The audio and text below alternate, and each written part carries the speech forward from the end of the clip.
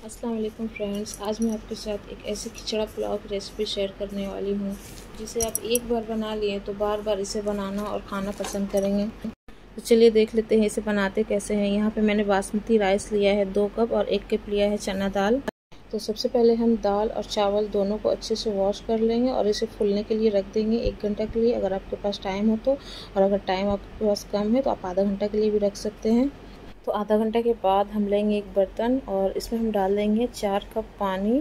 जितना चावल है, उसका डबल पानी होना चाहिए। पानी का थोड़ा ज़्यादा भी हो जाएगा तो भी तो भी चलेगा। इसके बाद हम इसमें डाल देंगे थ्री टीस्पून नमक फोर टीस्पून चीनी, दो तीन तेज पत्ता और कुछ खड़े गर्म मसाला, जैसा कि आप देख सकते हैं। और इसके बाद हम इसे एक बार अच्छे से चला के ढक देंगे। जब इसमें अच्छे से बॉयल आने लगेगा, तब हम इसमें चावल डालेंगे। आप देख सकते हैं, दाल और चावल दोनों अच्छे से फूल गया है। हम चावल को साइड कर देंगे और दाल को गला लेंगे। तो दाल में हम सिर्फ़ नमक डाल देंगे वन टीस्पून और इसे हम गलने के लिए रख देंगे। तो आप देख सकते हैं, दाल हमारा गल गया है और दाल को 100 परसेंट कुक कर लेना है ताकि ये चावल में जाने के बाद एकदम अच्छे से सॉफ्ट हो जाए।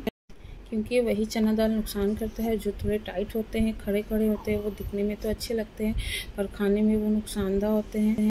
अब हम चावल का पानी देख लेंगे। आप देख सकते हैं, पानी का कलर एकदम चेंज हो गया। अब हम इसमें चावल डाल देंगे और साथ ही साथ हम इसमें डाल देंगे one tablespoon ginger garlic का पेस्ट इसे हम एक बार अच्छे से चला लेंगे और फिर हम इसे ढक देंगे हाई फ्लेम पे कुक होने के लिए क्योंकि चावल एकदम अच्छे से फुला हुआ है तो ज़्यादा टाइम नहीं लगेगा इसे। इसे गलने में थोड़ी देर बाद हम चावल को एक बार चेक कर लेंगे। चावल को 80 टू 90 परसेंट तक कुक करना है। आप देख सकते हैं, चावल लगभग हो चला है, सिर्फ़ थोड़ा सा टाइट है। अब इसी टाइम हम इसमें दाल डाल देंगे और इसे एक से दो मिनट के लिए और और पकने देंगे। बस 10 से 15 मिनट में खिचड़ा पुलाव बन के रेडी हो जाता है खाने के लिए। आप इसे चना दाल पुलाव भी बोल सकते हैं।